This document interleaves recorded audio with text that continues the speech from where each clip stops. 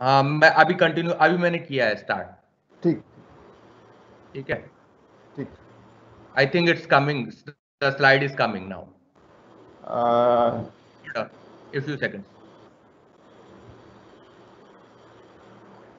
ये yeah, yeah. जो आ गया yes, slide आ रहा है आ, आ गया आ गया slide आ रहा है then okay sir uh, so Right, right. uh, th thanks a lot uh, all the attendees for the patience uh, I think we you all have got the you all have got the uh, you all have got the links and uh, we are back with Dr. V. Siruguri uh, with his presentation and we will be providing you if you have missed the earlier part we will be providing you the slides and all the uh, we will providing you the uh, recording of the uh, lecture so let, without wasting time let's hear Dr. remaining part of the lecture of the Dr. V. Siruguri uh, now onwards welcome sir I'm uh, taking you live Uh, Can you hear me? yes, Yes, sir, sir. and we can see Okay. your slides and you Okay. please sir Yeah. So uh, I was saying uh, that uh, uh, imaging is uh, another uh, uh, new uh, thing which has been uh, started at Dhruva Reactor, and uh, this is also a very powerful uh, technique by which you can see uh, do uh, neutron radiography of very very uh, important technological systems and samples. Okay. So.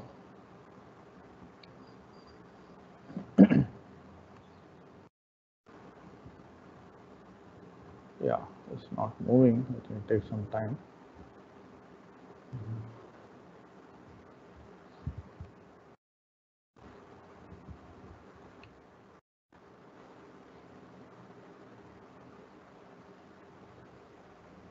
Uh, the slide is not moving ahead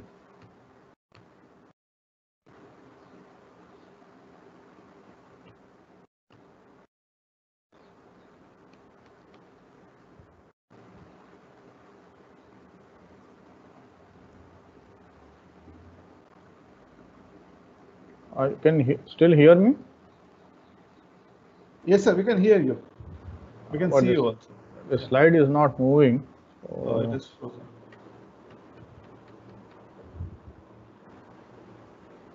Dr. Semalty, can you uh, stop my sharing for some time? uh, he's not there actually I don't know. Uh, yeah, yeah, yeah. yeah, yeah it's working now. Okay, fine. So, thanks. Uh, thankfully, it's working. Uh, okay, now uh, just uh, I would like to tell the students especially that what are the various research opportunities available at Mumbai. At BRC, it, some of you may already know that it conducts uh, an yearly intake program at uh, after the MSc level. So they have what is called the uh, OCES they have what is called the OCES training school program, which uh, the, the, usually the advertisement comes around December, January or something like that, where they take uh, students who have completed their MSc through an entrance exam, etc., and they directly join as uh, officers uh, in the uh, BRC. Uh, not only BRC but also other DAE institutes. Then they also run a GRF program leading to a PhD degree, and then they have other possibilities for post PhD students like the KS Krishnan Research Associate program. Then uh, they also have other smaller things like diploma in radiation protection and things like that. At uh, UGC DAE Consortium Mumbai Center, we also run a PhD program in physics, and uh, this is uh, through the SP Pune University, where we are a recognized center of the Pune University to train PhD students, and we also have an yearly intake of uh, PhD students, and this is done through the Pune University program, where students have to uh, appear for entrance examination at the Pune University uh, uh, physics uh, PhD program, and then they will be registered uh, at Pune University and then join our center at Mumbai for doing their PhD in physics. So details can always provide uh, uh, whoever is interested. So to summarize, as I said, uh, neutrons are very unique and powerful probes for condensed matter research.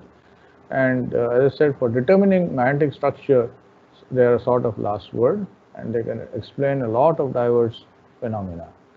So we have, as I said, set up a very high resolution, high throughput neutron diffractometer at uh, Dhruva reactor and uh, we have a lot of uh, users on this machine.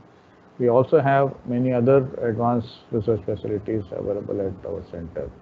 So as, as I said, we can tackle a lot of problems using neutron scattering and what I have just presented to you is a small part of the whole thing. So those are interested, they should attend all the lectures in this workshop, uh, through which you can uh, also get some idea about not only neutrons, but you also can have ideas about how to work with synchrotron radiation as well as uh, high energy uh, nuclear uh, scattering also you can also do by uh, variable energy cyclotron center at Calcutta and other places. So one big thing is that all these facilities are open for university users free of charge. You just have to write to us. And of course, because it's free of charge, we also have reserved the right to examine your proposals. And uh, since neutron are very expensive, we try to make sure that uh, proper proposals are only are accepted at the centers. So I end with uh, a slide from Professor C.V. Raman, a great Indian scientist, who also said, and I quote, in the history of science, we often find that the study of some natural phenomena has been the starting point in the development of a new branch of knowledge. Sir C.V. Raman, unquote. Thank you very much for all your attention. I wish all of you to stay safe during this pandemic and also wish you all a very happy Diwali. Thank you very much.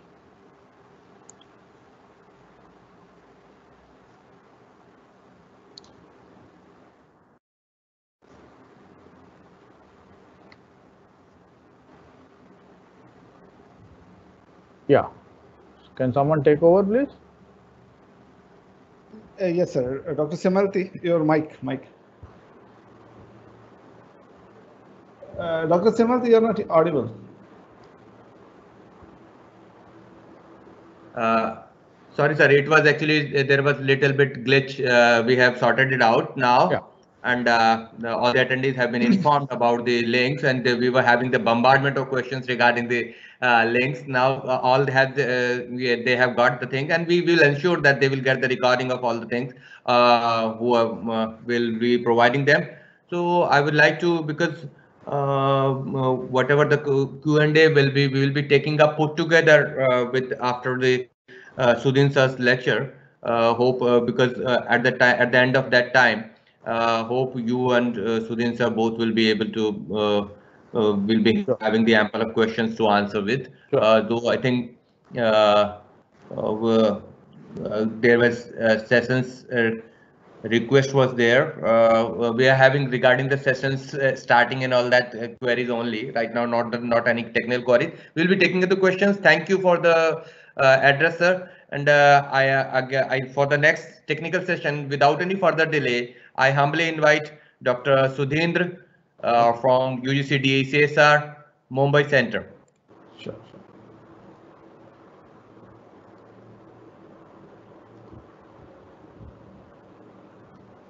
Yes, sir. Yeah, uh, okay. Uh, I will go live.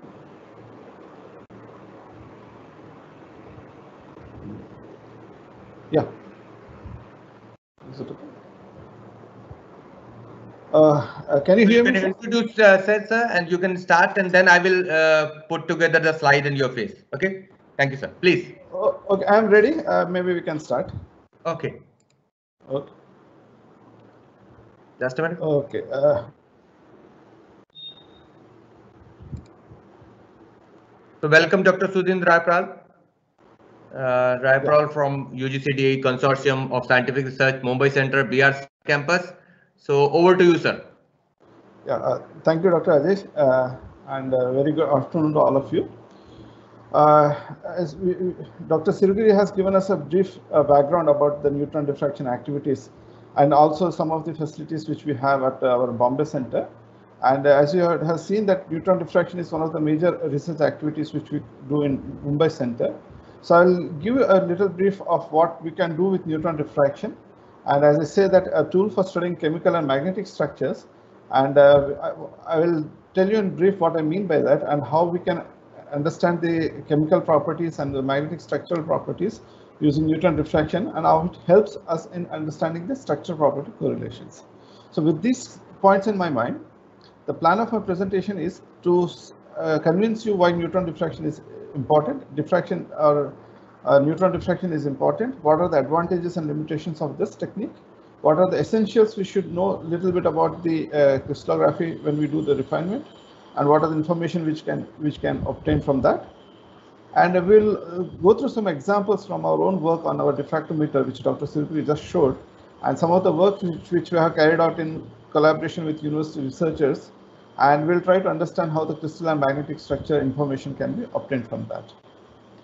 So the first question which comes to our mind is why diffraction is important. So the one of the most examples, uh, best examples is to look at the allotropes of carbon. We know that in carbon has a different allotropes like graphite, diamond, BCA, fullerenes, nanotubes, and graphene. And in all of these, the arrangement of carbon, that is the one which de determines their physical properties. To give you an example, if you look at diamond and graphite, okay, so diamond, as we all know, that is the hardest known substance, which uh, with a uh, with a relatively high density of 3.5 it has it is transparent with a very high refractive index. It is non-conductor of heat and electricity. It burns in air and it has an octahedral crystal structure. Whereas in case of uh, graphite, it is uh, soft and easy to touch. It is black and opaque. It is a good conductor of conductor of conductor of heat and electricity, and it occurs in hexagonal crystals. If you look at the structure carefully, you can see that the carbon atom in, in case of diamond is connected to the neighboring four carbon atoms via this uh, single covalent bonds.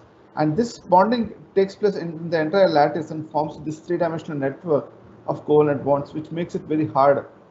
Whereas in the case of the uh, uh, graphite, it forms bond uh, covalent bonds again with carbons with neighboring three carbon atoms, and it forms these hexagonal layers. So it's a layer by layer structure which is uh, linked to each other by the weak van der Waals forces. So which makes this structure like slightly brittle and it is, is and slippery. You can actually break the crystal uh, along these sheets. So the point is the differences in these physical properties of carbon, uh, of two allotropes of carbon, say for example, diamond and graphite, can tell you the physical properties uh, of these two compounds. Another example which comes to mind is the allotropes of iron. We have different forms of iron. So for example, this is alpha iron and this is gamma form. And the alpha iron is BCC, that is body-centered cubic structure, and gamma iron is a face-centered cubic structure iron. The difference in the properties is that this uh, alpha iron is magnetic and it's stable up to very high temperatures and in, in this BCC structure form. The carbon intake for this phase is very small, roughly like 0.25 percent 0.025% and this is known as a ferrite. The moment you heat this form, it will go to this gamma iron phase, which is a phase that means there is a structural transition to phase centered cubic, which makes it non-magnetic, and it is known as austenite. But the feature is that it, it can absorb more or it can uh, dissolve more carbon into that. Uh, so the carbon saturation which we see in gamma F iron is of the form of a stainless steel. So the point is that if you know the crystal structure, it helps in understanding the physical properties. And if you understand the physical properties, it makes it easy to tailor the properties if by uh, by substitution, temperature, uh, doping, and so on. Next is how to do diffraction. So there are several diffraction probes which are available, like electron, X-rays, and neutrons. So how do you select them? So what is the interaction which takes place when a radiation strikes a material? Either it can be absorbed, it can uh, pass through the sample and emerge in, within, in a, uh, from a new direction with or without change in the energy, or it can pass through the sample without getting affected at all.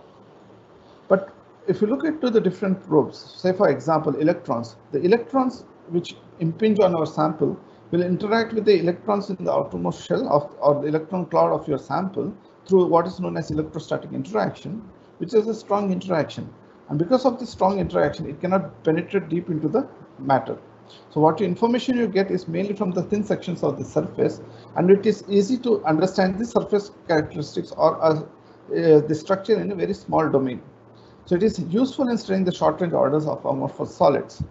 But the disadvantage of this technique is that it interacts with the matter and because of this interaction it is less penetrating and to control an electron beam you need a lot of apparatus. It is like such as high vacuum and so on and it is limited by the phase problem.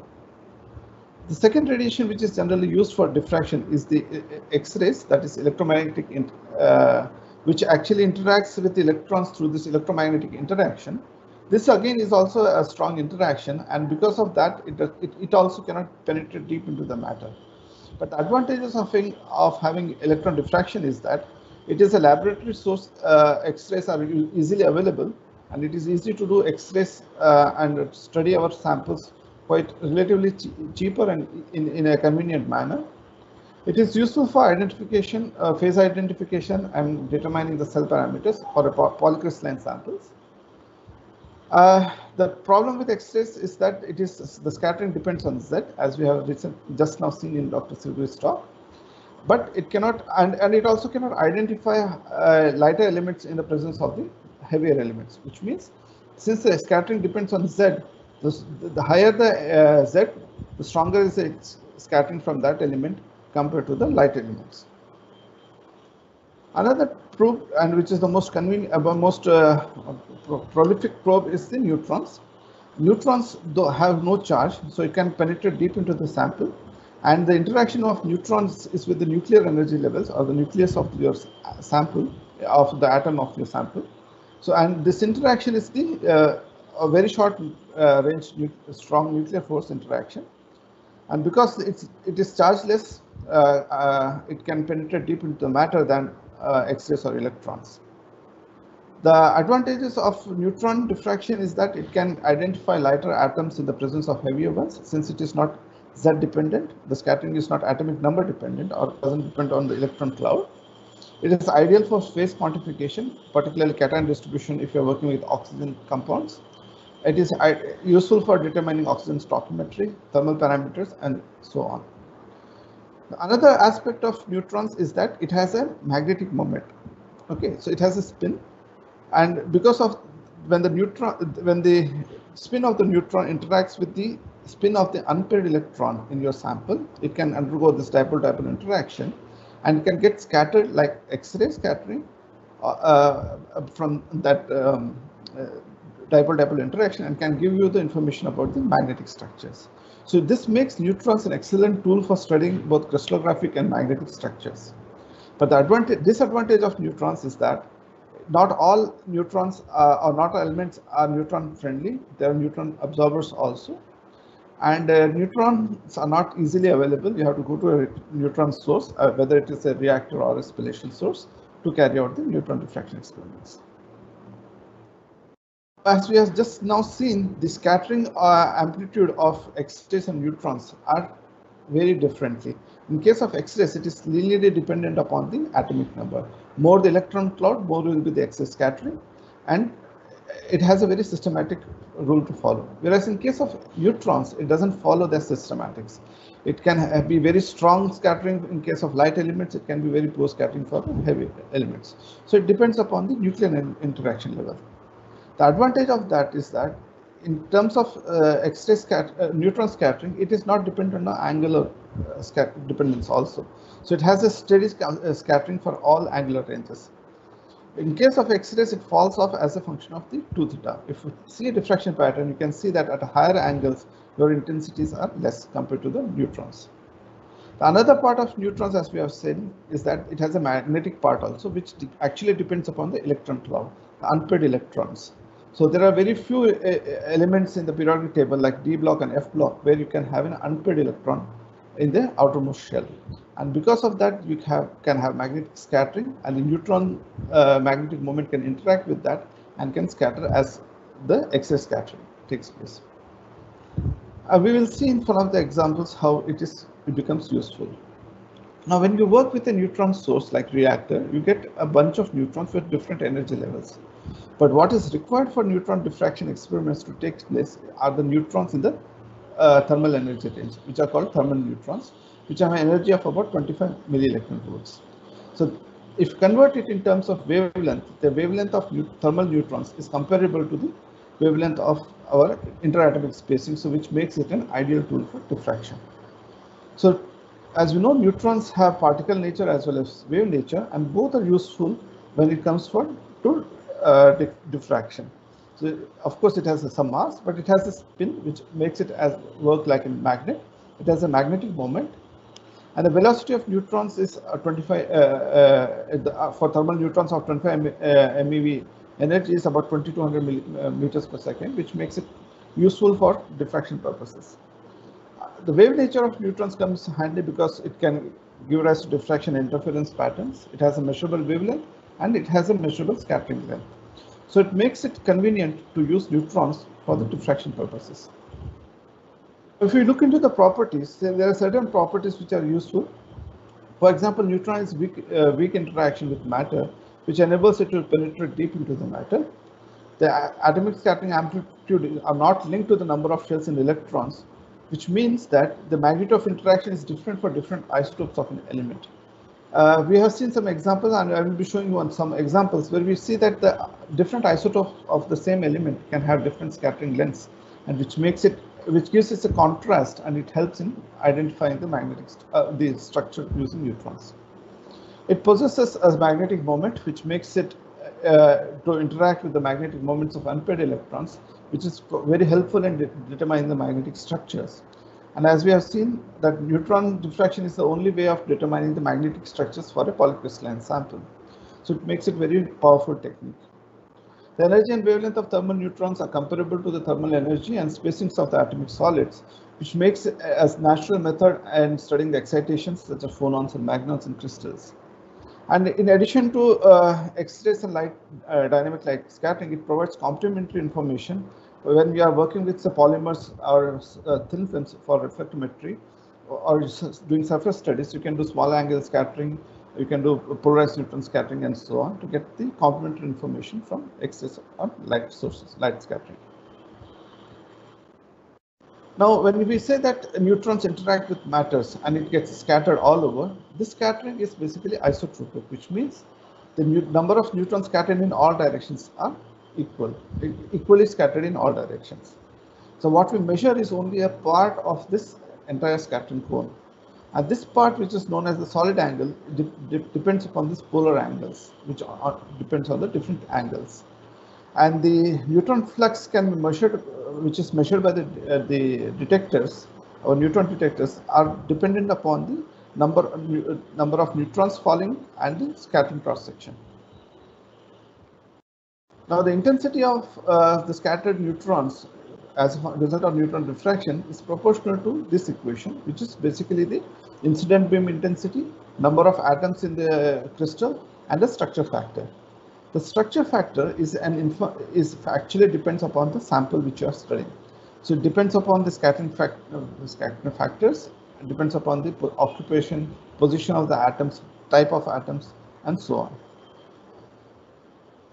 Now the scattering cross section, which is represented by the sigma, represents the flux of the scattered neutrons per incident flux, which is given by the 4 pi b square, where b is the complex quantity, which is the scattering length of the particular atom or element which you are talking about. It can have a real and imaginary part, which means it it can be a scattering part, it can be an absorption part. So there are some elements which are very good neutron scatterers. There are some elements which are very good neutron absorbers. So examples, cadmium, gadolinium, boron have very high uh, neutron absorption uh, cross section. So they are not useful for diffraction, but they are useful for confinement of neutrons. So they work as neutron shielding materials. So there is an advantage of having some elements which are neutron absorbers. Okay, and the imaginary and the real part, that is scattering and the uh, absorption cross sections are treated separately and we can have absorption and scattering cross section for every element. In some cases, uh, you can have negative scattering cross length, uh, cross section or negative scattering length, which indicates a phase shift. Actually, it has a physical meaning. It is basically a phase 180 degree phase shift from the positive nuclei. Now, in, in real samples, actually, we have more than one uh, species of atoms. It can be in, like in alloys or compounds, which with which is binary or ternary in nature. The, scattering potential will vary by its mean values, which means that you have to consider the scattering cross section for each of the element, which contributes to the uh, uh, coherent scattering as well as incoherent scattering. So coherent scattering and incoherent scattering can be taken up as uh, constructive and destructive interference which means you can have Bragg peaks because of the coherent scattering, and you can have the the what you say a very large hump or a background because of this incoherent scattering. And this incoherent scattering and coherent scattering depends upon the number of atoms, the type of atoms in your sample or in your structure. If you look at this table, it is a compilation of uh, some of some of the elements uh, where you have these isotopes also, you have scattering uh, uh, length for these isotopes. As you can see, some of the elements can have negative scattering lengths and some have very high and very small scattering lengths. Then you have scattering cross section, you have absorption cross section also. And this is compared with the X-ray scattering uh, functions. Okay, so if you look into case of gadolinium, you can see that gadolinium coherence length is about 6.5 bars of femtometers, and it has a very it has a small uh, scattering cross section compared to the absorption cross section, which means it will absorb more than it's, it can scatter. If you go to the uh, one of these uh, uh, isotopes, even in case of isotopes, you can see that in case of gadolinium, the absorption cross section is very high. Whereas in case of, if you say boron, so boron, natural boron has a very high absorption cross section compared to the scattering cross section. But if you take in a boron uh, uh, 11 uh, isotope, you can have a very high a scattering cross section higher than the absorption cross section. So if you want to work uh, with the to do diffraction of a boron containing compound, you have to do take the isotope of boron instead of the natural boron. So another example which I would like to show you is that if you want to compare with X-rays, okay. So copper and zinc, if you look at the periodic table, they are almost one electron apart. And, and because of that, you can see the X-ray scattering functions, they're almost identical. So if you do an X-ray diffraction of a compound containing copper and zinc, you will not be able to distinguish between what is copper and what is zinc.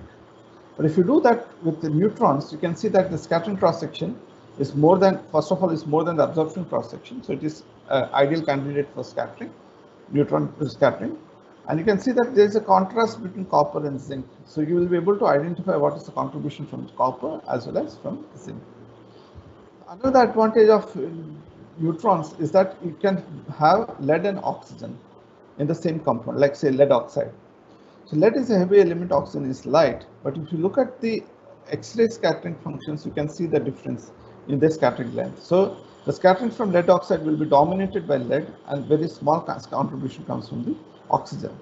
Whereas in case of neutrons, you can see that it's very good contrast between of scattering between uh, lead and oxygen. So if you have lead oxide, neutron diffraction becomes more important in determining the quantity or the phases of lead and oxygen present in your sample.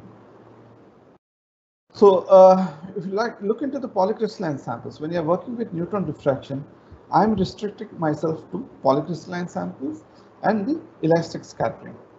So in polycrystalline samples, or uh, all possible orientation of crystallites are possible okay you get scattering from all crystallites in, in all directions which is contrast to the, the single crystal diffraction actually so for the intermediate uh, there are some cases in which uh, in polycrystalline samples you can have somewhere in between single crystal and polycrystal which is known as preferred orientation which or texturing okay. There are some groups or some people who are interested in texturing so they will make these samples in such a way that you have certain reflections dominating the diffraction pattern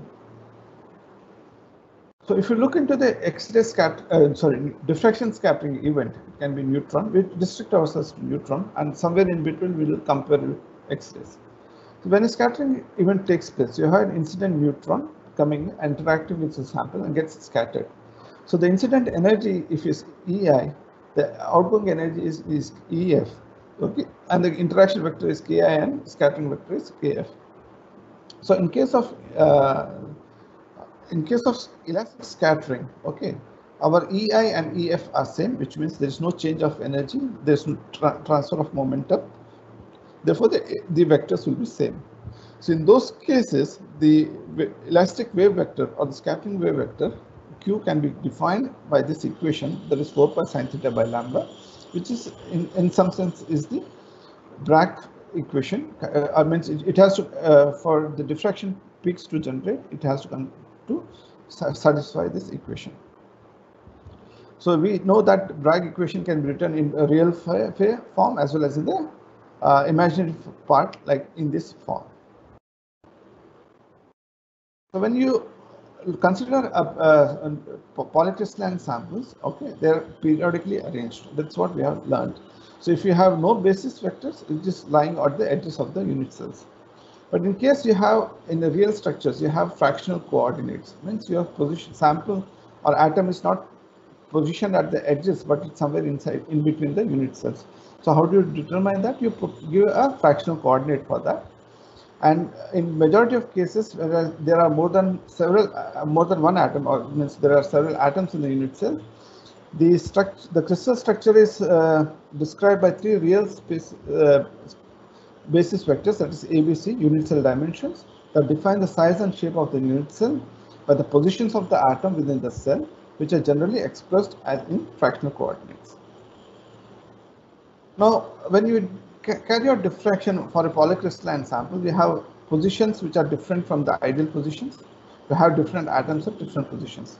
So when you look at the uh, scattering process which takes place, there is a phase difference between uh, the the, uh, the, the the radiation scattered by a particular atom and among the different atoms also.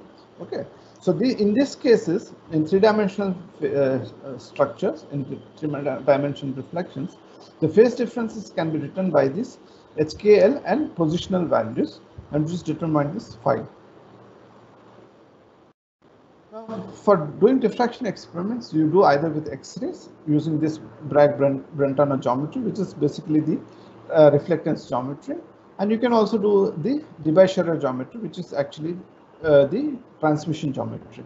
So what we employ in our diffractometer is, uh, is the, basically this transmission geometry, which means your sample is somewhere here, the neutrons coming out from the reactor or after the moderators or the single crystal is actually falling on the samples, getting scattered, and it is picked by the detectors which are placed somewhere here.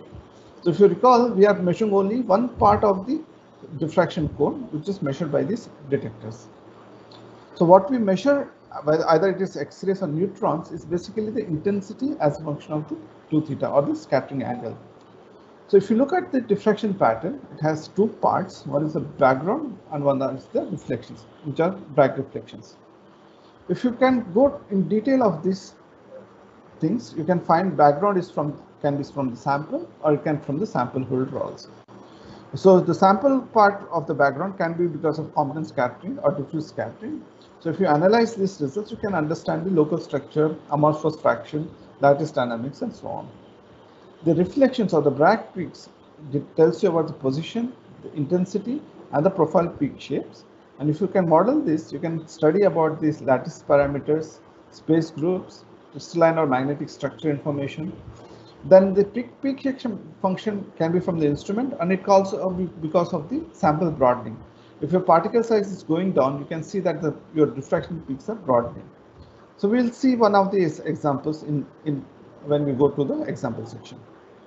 Now, when you analyze all this information from this uh, Bragg peaks positions, you can understand about the magnetic uh, atomic positions, magnetic moments, temperature factors, and so on. So you can model your crystal structure and refine your diffraction data and get, get to know about the information about your sample.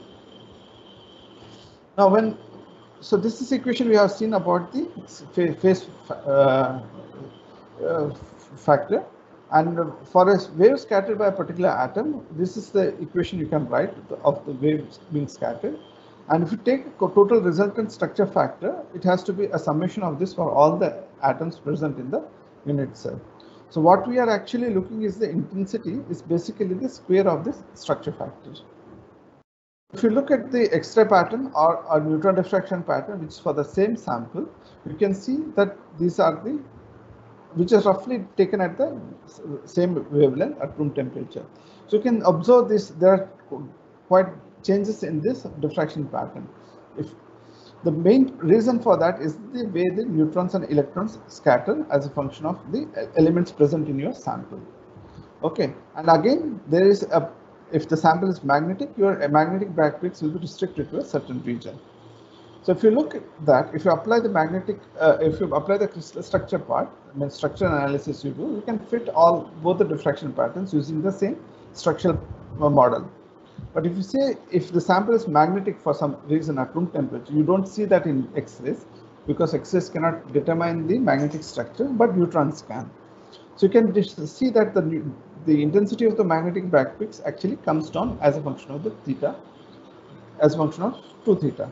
And when you apply the magnetic, uh, again, the intensity uh, is proportional to the structure factor. The structure factor has to depends upon so many factors. It depends upon the phases crystal structure, like microstructure, quantity, cell volume, which is basically the the structure or the model of your structure uh, sample. It depends upon the in instrument geometry. It depends upon the, whether you're using X-rays or uh, neutrons it depends upon the instrumental parameters like Lorentz polarization, background, resolution of your instruments, radiation which is used for, and so on. It depends upon the sample, what type of samples, what are the elements, how the scattering is for X-rays or neutrons in your sample, and like that. So all these parameters can be can be optimized uh, and can be refined, and you can get a proper fit for your structure. So if you look into the magnetic structure, in addition to the neutron scattering, you can have a magnetic scattering also, because in term in, in addition to neutron scat scattering, there is something called the magnetic interaction vector, which also comes into the picture, and which is basically a product of the scattering vector and the magnetic moment of the atom. If you look into the structure factor, the structure factor has to include the magnetic scattering factor also. The magnetic scattering uh, uh, cross section depends upon the the spin of the electron or the spin uh, spin quantum number number which is present in your sample okay. And the magnetic moment of the neutron of course and this you have magnetic uh, form factor for that particular element. So this magnetic scattering length has to be part of your scattering function. If you look into this table there are many magnetic atoms present here. So yeah this is in addition to neutron scattering amplitude depending upon the spin of your uh, magnetic atom ion, you can have magnetic scattering amplitude, which is angular, angular dependent. Okay, so there are certain cases where the magnetic scattering amplitude is stronger than the nuclear scattering amplitude. And with different ions with different uh, uh, valence state, you can have, or spin state, you can have different scattering amplitudes. So if you have a uh, compound containing Fe3 plus and Fe2 plus, you may not distinguish the structural part of that, but you can distinguish the magnetic part of that. The only the components of the atomic moment that are parallel to the scattering vector contributes to the magnetic scattering uh, magnetic scattering and the components of, components of the atomic moments that are perpendicular to the neutron polarization cause the neutron moment to flip or cause the spin scattering. If you come back to this scattering equation, this, this structure factor has to take into account the nuclear scattering factor as well as the magnetic scattering factor. And the intensity uh, again depends upon the square of this, this structure factor. Now coming back to this example, so we have a neutron diffraction pattern. We applied the magnetic, uh, we applied the crystallographic structure model, so we can identify the magnetic peaks.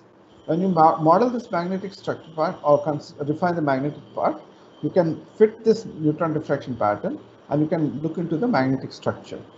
Therefore, the, in, the, in the magnetically ordered state, the intensities are the sum of the nuclear and the magnetic intensities.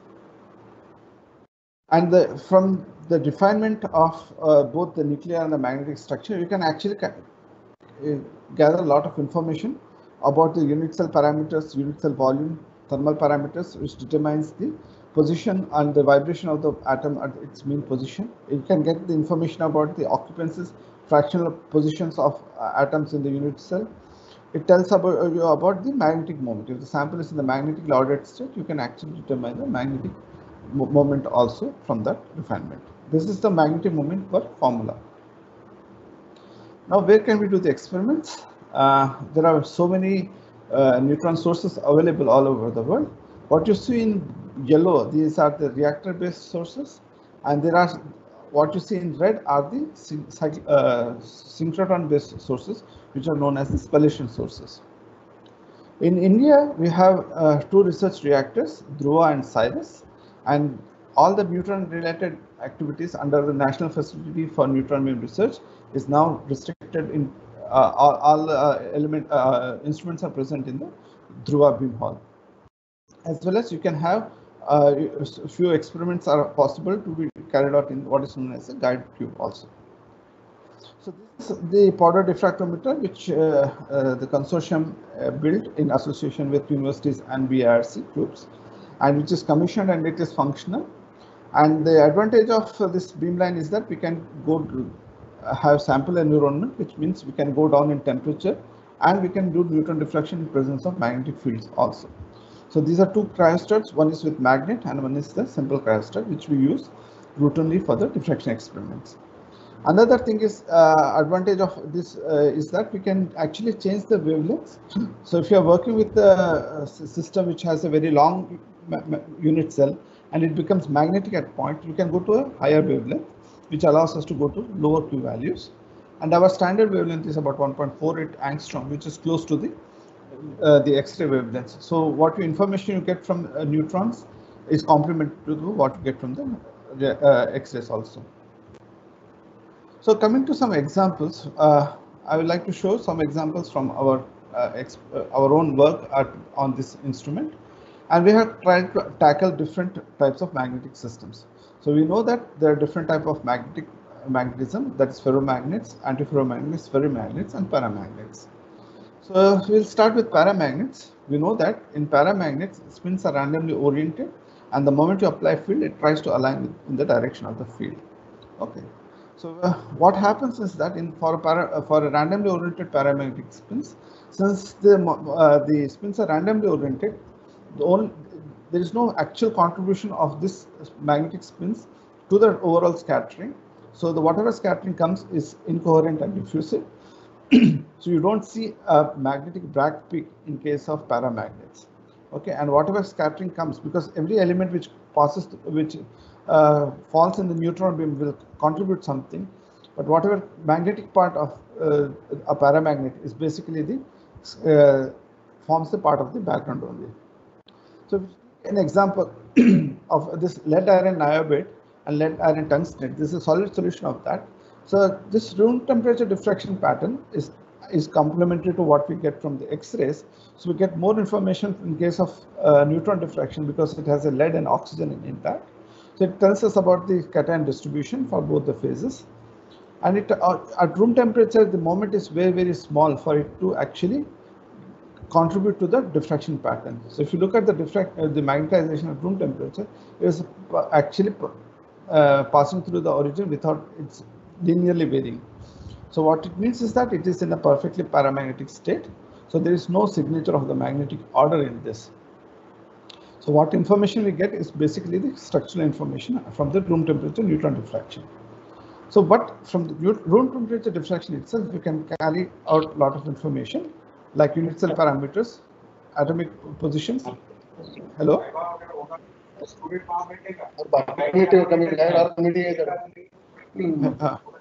You, you, can get information about the atomic positions, the fractional coordinates, and so on. You can reliably get the cation distribution. And since this is lead and oxygen, you can actually get a proper uh, uh, coordination uh, occupancies for both lead and iron oxygen from here. And you can also calculate what is known as bond valence sums, bond lengths, bond angles, and so on.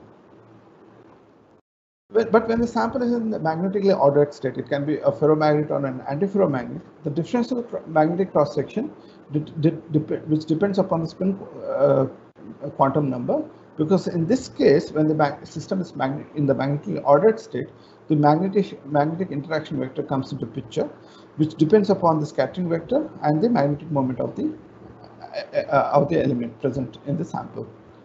So in those cases, for example, if you work with antiferromagnets, we know that by definition that in antiferromagnet, uh, that is the magnetically ordered state, spin of equal magnitude are aligned opposite to each other.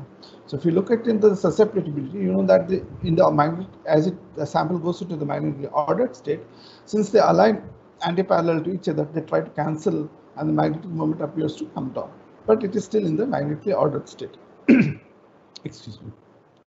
If you look into the diffraction pattern for, for an antiferromagnet, what you observe is that the spins are uh, arranged anti-parallel to each other. But if you want to get to the unit cell of that, you have to actually cross the uh, more than one unit cell. Basically, if you, in this case, we are seeing that it is doubling in two directions. So when there is doubling, there is reduced reduction in the magnetic symmetry, and you can see that new magnetic Bragg appears in case of antiferromagnets. Okay. If you look at in, in terms of the susceptibility for the same example, when it goes into the magnetically ordered state, you can see that below this Tn, okay, you can see that the magnetization shows some nonlinearity, which looks like a typical antiferromagnet, which is which are the signatures of the magnetic order. And if you look at the diffraction pattern below this magnetically ordered state, you can see that this magnetic background develops as you go down in the temperature, as you go down in the magnetically ordered state. So this magnetic Bragg peak starts developing. So for comparison, at room temperature it was in the paramagnetic state, but as you go down in temperature, the magnetic order sets in, and you can see this new magnetic Bragg peak developing. So when you model that, when you refine your magnetic structure along with your crystallographic structure, so you can see that in case of this particular example, this is an, a G-type antiferromagnet. Okay, so what is a G-type antiferromagnet? I will give you a glimpse in a minute. Okay, in addition to that, in addition to the magnetic structures, we can actually determine, as you do a temperature dependent neutron diffraction, you can gather a lot of information about how the unit cell parameters vary, how the angles vary, how the volume varies, and how the magnetic moment varies as you go down in the measure in the magnetically ordered state. Okay, now there are different types of antiferromagnets also. Okay, so if in this example, this you can see that there are, these are all antiferromagnets, but their profiles is slightly different. Okay, the reason for that is that they have different type of antiferromagnetic structures. There's a type of structure in which if you consider this all these planes as layers, okay. So in one of the layers, the spins are aligned in one particular direction. Say, say if it is spin up, in the other layer it is spin down. So together they make an antiferromagnetic structure. So you have one layer by layer, it is a type A antiferromagnetic structure. If you go to type C, you can see that the opposite uh, spins are are parallel to each other, whereas the diagonal ones, I mean, the next ones are anti-parallel to each other. So it forms an antiferromagnetic structure in planes and among the planes also. In type E structure, you have three spins which are in one direction and one in the opposite direction. So overall, you have a net structure which is antiferromagnetic coupled to each other. In case of G type, all the spins are anti-parallel to each other, whether it is in within the planes or among the planes. Okay, they are they are anti-parallel to each other. So that gives what is known as a G-type antiferromagnet. And this is what we had seen for a lead iron niobate example. Other types of uh, antiferromagnetic structures also, which is known as uh, which is seen in what is known as a charge ordered antiferromagnet. Like in case of a PCMO, that is praseodymium calcium manganese oxide. It is a charge ordered system, but we don't see charge ordering in that. But in case it becomes magnetic, it has a combination of C and E type magnetic structures which are arranged in similar fashion. Okay. Now there are more complex magnetic structures also, like you have a triangular lattice uh, structures. You can have an canted antiferromagnet. You can have an umbrella kind of a structure if you go along a particular direction. You can have more complicated magnetic structures. You can have sine wave structures, which if you see this, the magnetic moment direction and the magnitude changes as you go from one end to the another end in a particular direction. You can have a circular or helix structure. You can see that the magnetic moment is the spin is actually moving as you go from one end to the another end and the magnitude but remains the same, but the direction changes from one step to the another step. You can have elliptical structure also, which means the magnitude and the direction changes as you go from one side to another side. So likewise, you can have more complicated structures also in case of uh, antiferromagnets. Another type of antiferromagnet is known as a ferrimagnet. But it, in case of ferrimagnets, though the spins are anti-parallel to each other, but the magnitudes are not same. So instead of cancelling out, they have a net magnetic moment present in the system, which gives rise to such a behavior in uh, susceptibility. But it is basically looks like an antiferromagnet. So what happens in case of antiferromagnets is that there is no doubling of the cell, but you instead you have a position where you can have spins which are anti-parallel to each other, but the magnitudes are not same. And in case of diffraction pattern, you don't see that new Bragg peaks developing, means there's no reduction in the symmetry. But the, the positions where their uh, uh, peaks are allowed, but they are not present in intensity, they may be getting inten becoming intense as you go down in the ferrimagnetic state. Or some of the existing Bragg peaks can also show increase in their intensity. So one of the examples here I can show is this yttrium chromium uh, oxide, which is substituted uh, where iron is substituted for the chromium site. So in this case, if there is no iron present, it shows this uh, what is known as compensation temperature, negative magnetization. Okay, and as you go down, uh, uh, do the field cycling, you can see that there is a compensation temperature as well as there is a Néel temperature. There is compensation Néel temperature present in the system. The moment you start adding iron to that, it goes from uh, antiferromagnetic ground state to a ferrimagnetic ground state. Okay. So that is what we are trying to see in this case. So in case of an iron substitute example, you have what is known as spin reorientation. So how do you understand that spin reorientation in terms of diffraction? If you take the uh, YBCRO3, which is antiferromagnetic, but the moment you start putting iron to that, you are changing this magnitude of the moments at, at random sites. So it, it starts interacting ferro, ferrimagnetically. Okay, and in, in terms of diffraction, when you go from uh, zero, which is the antiferromagnetic ground state, to a ferromagnetic ground state, you can see that the diffraction peaks, they also changes. What it means in terms of structure is that in the antiferromagnetic state, you can see that the, the spins are parallel to each other and the directions are different. But the moment you go into the ferromagnetic state, there is a spin reorientation in this case. Okay. So there are two magnetic sites, one is ytterbium, one is chromium, which are coupled antiferromagnetically with each other. So uh, if you plot the magnetic moment which obtained from neutrons as a function of temperature and compare it with the magnetic moment you get from magnetization or magnetic susceptibility, you can see that at a particular temperature, the magnetic structure or the magnetic symmetry changes from a normal to a spin, spin reorientation state. Another example which, uh, which is quite common with uh, ferrimagnets are the ferrites. In this case, we are talking about the nickel ferrites. As you know, in case of ferrites, we have two magnetically active sites. One is A site and the one is B site. And the most interesting part in case of ferrites is the, to know what is the cation distribution so that you can actually identify the moment at A site and the B site. The best way of doing cation understanding cation distribution is neutron diffraction because nickel and iron again being uh, neighbor neighboring elements is very difficult to is distinguish from X-rays. And iron can cause fluorescence in case of X-rays, so it may be may become difficult to identify iron in, in from the common or lab source X-rays. Okay, so you need a very precise measurement, and, and neutron in that case becomes very uh, interesting. These are magnetic at room temperature. So at room temperature, neutron diffraction itself will tell you about the magnetic moment. Okay. Get the diffraction from the diffraction from the analysis, you can get the magnetic structure uh, from uh, the crystallographic structure or the nuclear structure. You can know what is the iron sites, what are the nickel sites, and what sites nickel iron goes to the nickel site or vice versa, A site and B site cation distribution. And you can uh, can also get to know the magnetic structure, the ferrimagnetic structure. So if you can compile these results and compare with X-rays and neutrons, you can find that you can get complementary information about unit cell volume and X parameters from the neutrons and X-rays. But in addition to that, you can get the moment for A site and B site, and you can also calculate the net moment. So it can give you the precise uh, cation distribution as well as the magnetic moment in the magnetic unit cell.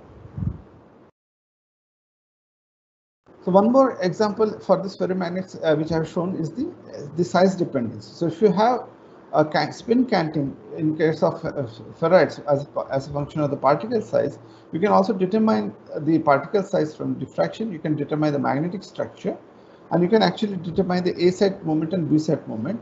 So in this case, you can actually find out what happens when you substitute a non-magnetic ion at a, at a magnetic site, how it dilutes the magnetic lattice and how it interferes with your A side and B side magnetic moment.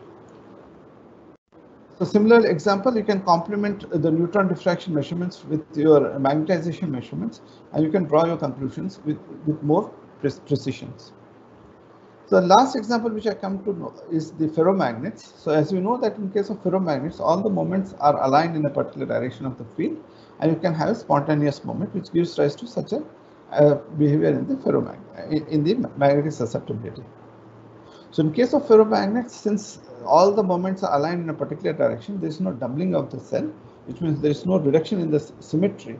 But as the system goes from a paramagnetic to a ferromagnetic state, your magnetic Bragg peak intensities will increase. So may, all the peaks may not be magnetic, but all magnetic Bragg peak intensities will increase, and which will add to the overall intensity of your diffraction pattern. So if you can recall, our intensity is the square of the structure factor. In case of this, it is a addition of both nuclear and the magnetic structure factors. Look into this example. So we are working on this uh, lanthanum strontium manganate, which is ferromagnetic at room temperature. And our interest was to reduce the particle size and to see how it affects the magnetism of this compound. So these are uh, X-ray diffraction patterns actually. And uh, from that we can actually calculate the particle size.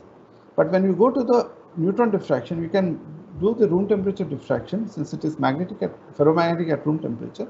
And from that we can analyze the magnetic structure. We can get the magnetic moment, which is uh, at room temperature is 2.57 Bohr magnetons, which is comparable to the uh, value which we get from the magnetics uh, from the magnetization measurements, which you can see here. And as you go down in the particle size, as you reduce the particle size, though it is still ferromagnetic, the moment has actually come down. And you can see this, this matches well with what we observe from the magnetization measurements. So there is a complementary complementarity between, between neutron uh, magnetic moment which you get from neutron diffraction as well as from the magnetization. What it tells us is that as a function of the particle size, there's a reduction in the magnetic moment and that is because as you go down in particle size, your magnetic domains and the domain sizes will change.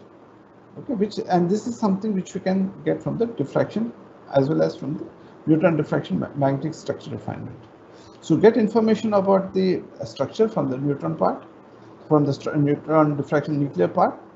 Okay, you can know what are the positions, what are the stoichiometry, what are the oxygen uh, vacancies or oxygen stoichiometry in this compound. And along with that, you can get the magnetic structure information also. Conclusion, I can say that powder diffraction helps in understanding the structural properties of the materials and it helps in understanding correlating the structure and property uh, physical properties which is very essential for manipulation of physical properties of, for material designs for material characterization. X-rays and neutrons provide complementary information and it should be used in tandem because it can then you can maximize the information which you can derive from the powder diffraction and neutron diffraction plays a pivotal role in determining the magnetic structures and magnetism of all materials can be better understood with the help of neutron diffraction data as ND complements the properties observed from magnetization missions also. So with this, uh, I would like to show you some of the references which might be useful in understanding the magnetism and powder diffraction in detail. And with that, I would like to acknowledge my collaborators and students and a sincere thanks to them for the data which I have used for this presentation. Thank you all for your time and kind attention. Thank you very much. I can go back to Dr. Semalty. Thank you, Dr. Sudhindra. Thank you. Uh, so uh, now at the, at the end, uh, I would like to invite uh, uh, attendees for putting up their questions. Some of the questions have been asked in the uh, in the chat box. Yeah. in the larger interest, hope, however, some of the answers have already been answered by the, our backend team, Dr. Kaushik and all. Uh, uh, but Dr. still, is also there. Ah, yeah, yeah. ah, yeah, Dr. Siruguri is also here. So we are uh, going to take up some of the questions. Yeah. Uh, yes. like can neutron diffraction be used to study biological macromolecules like proteins? Uh, it was asked. Yeah, protein structure. one of the attendees. Yeah, yeah. Yeah, there, there, there have been uh, cases where protein structures have been analyzed using neutrons, but one has to be careful when we, they work with carbon and, and, uh, hydrogen because the scattering factors for uh, hydrogen can be very uh, highly incoherent. It has very high incoherent scattering. So getting a diffraction pattern from a hydrogenous sample is very difficult. So it depends upon the what are the elements of that uh, molecule or a structure. But single crystal diffraction has been done uh, for determining the uh, the structures. Yeah. And of course- uh, in fact, uh, with biological samples, uh, macromolecular samples, uh, usually single crystal neutron diffraction is done, uh, Yes, where sir. you actually get the uh, the hydrogen uh, thermal parameters, anisotropic parameters, and uh, positions also. And with single crystals, it's not a problem, and uh, there are uh, possibilities of uh, working with macromolecules, biological macromolecules with neutron diffraction, single crystal neutron diffraction. Uh, Sir, there is a one question from my side itself because uh, a very huge number of attendees are from there, from uh, uh, uh, biomedicals. I would like to uh, let us briefly, because uh, we are not the hardcore physics people uh, who are the biomedicals, because they want some of the answers from the techniques uh, which you are having in the CSR. So what are the major things we should keep in mind? Uh, the primary characteristics for doing the neutron analysis, whether you go for the diffraction or the scattering, say for, uh, for any composite, all that. Uh, what should be the criteria for analyzing? Because people are using lot many things in solid state, but why and when only we should go for the neutron scattering or neutron diffraction? Uh, okay, uh, uh, your question, of course, encompasses a large uh, Yes, uh, point. Uh, okay, first thing is that if you are having uh, polycrystalline samples, number one, Hmm. and uh, then again you want to do uh, diffraction. See, neutron diffraction, as has been uh, uh, shown by Dr. Rayaprol and uh, myself earlier, that uh, we are able to uh, precisely pinpoint the locations of lighter elements. Hmm. And uh, for many biological systems, uh, hydrogen is a very important element. And uh, so the locating this hydrogen position, uh, it, it becomes important uh, in terms of crystallographic structure uh, because that determines how the hydrogen bonds with the other elements in the in the molecule. So here uh, the issue is that uh, if you do not have a single crystal, then uh, it is very difficult to work with polycrystalline samples with hydrogen as it has been pointed out that it has a very high incoherent uh, scattering cross section which uh, also gives rise to a large background. Instead, if you are able to deuterate your samples uh, by replacing hydrogen with deuterium, then of course uh, neutron diffraction can be done, uh, which will allow you to precisely pinpoint the positions of hydrogen atoms in the crystal structure. So that is one very important contribution of neutron diffraction in this case. Uh, you can also try to do, uh, for example, uh, inelastic neutron scattering, but it's very difficult uh, here at the moment, where even if it's uh, in- incoherent scattering doesn't matter uh, of hydrogen, but here you will be able to look at the the, the dynamics of the system, how the atoms are vibrating at their positions, etc. If that is useful for you, but otherwise, uh, if we are only concerned with uh, finding out, determining the structure of the of the system which you have for which you are working with, then diffraction is yes, it is uh, useful, but with the rider that uh, you must have single crystal if you are working with hydrogen alone, and you have to do single crystal neutron diffraction. Otherwise, you are doing polycrystalline diffraction, then you have to replace hydrogen with deuterium. Then, of course, yes, definitely we can uh, do the diffraction part and uh, arrive at the structural uh, parameters of the uh, system you are studying. So is there any limitation regarding the molecular weight and all that? Because most of the APIs, active pharmaceutical ingredient, or whatever we are using in the pharmaceutical or biomedicals, uh, leave, um, leaving apart the enzymes or other biological uh, larger macromolecules, if you go for the active pharmaceutical ingredients or drugs, you say, they are generally having the low molecular weight. Can we go for those uh, things uh, also? When we are Yes, yes. preparing nanoparticles and all that, Yes, maybe? yes, yes, yes, it can be done. It can be done. It can be done. Yes, sir. So, uh, right, I'm going through the questions. Yeah, so far these are the only questions we are having. Uh, the neutron being used to study the biology, of course, we have answered this thing. Uh, okay, sir. So, right now. So at this moment, these are the these were the only queries we were having. Uh. Okay. Anyway, we'll be we'll be around for the whole uh, three days. So if there is Yes, any sir. questions uh, later on, we can already think- all this. come Yeah, back. probably the main issue must have been the connectivity issues like Yes, uh, Yeah, yeah, yeah. people must have felt a little. So hopefully uh, by uh, tomorrow's uh, lectures, uh, this thing if it is streamlined. Yeah, and, sure. uh, so the participants can still pose their questions even for the earlier talks, not a problem. We are always present there and we'll be able to answer uh, whatever questions uh, which are being posed by the uh, students especially. We- At a time they want, they can, even if they are feeling shy to uh, ask questions, yeah. They Yeah, can we will always. try to uh, upload your presentation entirely and we will be providing the recording, so they will be coming back with the questions in the next coming session, sir. Sure, sure, sure, sure, definitely. So, thank you, sir. Sir. Yeah, yeah. Uh, can you Yeah, hear us now? Yeah, yeah. We can hear you. We can see you. Yeah, also. thanks, Yeah, thanks, thanks. Yeah, ready, Okay, sir. Good afternoon, sir. good afternoon, good afternoon. Good. So, thank you, sir. Thanks for the, the nice presentation and nice overview of the neutron, neutron refractions and the facilities available and extended by the UGC-DAE CSR. Uh, and uh, you- really you are contributing to the nation's research uh, aura, increasing the, improving the aura in the research field and hope we will get your blessings and the support always, sir.